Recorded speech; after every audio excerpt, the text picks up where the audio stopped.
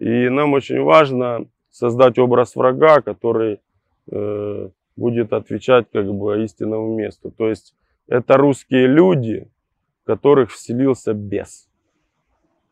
Вот.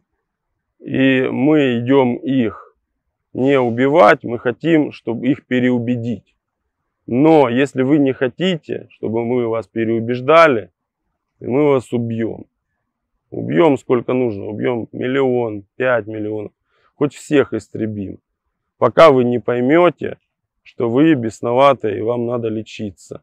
И вот самый главный бесноватый у них это Зеленский.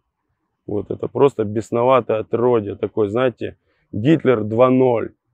Гитлер 2.0 с вот этим махровым там национализмом, с вот этой махровой русофобией, как они там режут рузню, да, вот женщина перерезает горло. Это же просто, это кровавые, бесноватые, ну, сатанисты, можно сказать. Сатанисты. Ну, если с точки зрения христианской мысли посмотреть.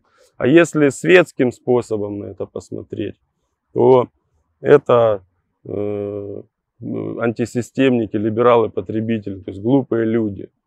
Глупые люди, которые не в состоянии разобраться в том, что происходит.